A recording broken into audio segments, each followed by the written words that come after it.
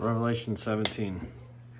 One of the seven angels who had the seven bowls came and said to me, Come, I will show you the punishment of the great prostitute who sits by many waters.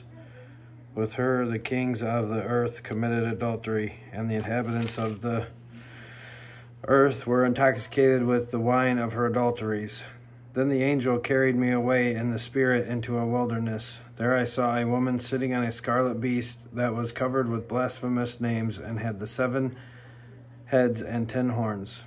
The woman was dressed in purple and scarlet and was glittering with gold, precious stones, and pearls. She held a golden cup in her hand, filled with abominable things and the filth of her adulteries.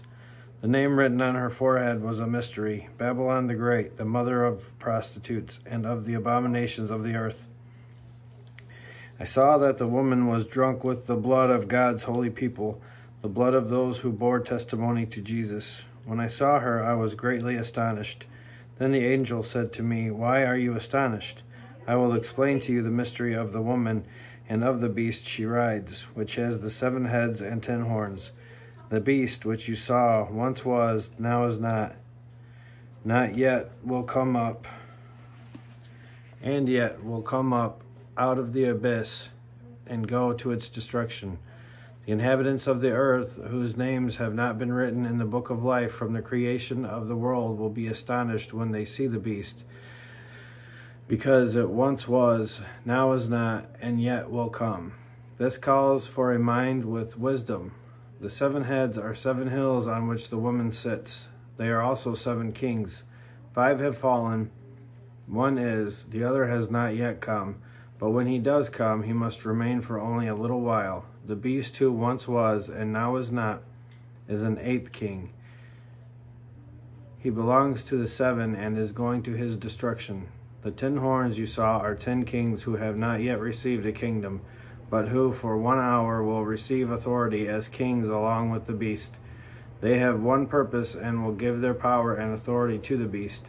They will wage war against the Lamb, but the Lamb will triumph over them because he is Lord of lords and King of kings. And with him will be his called, chosen, and faithful followers.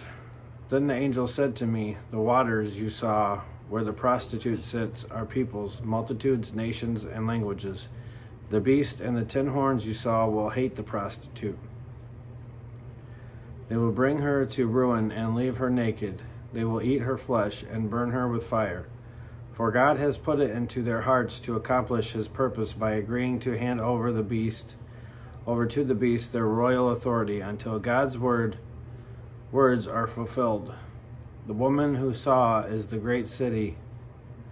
The woman who the woman you saw is the great city that rules over the kings of the earth.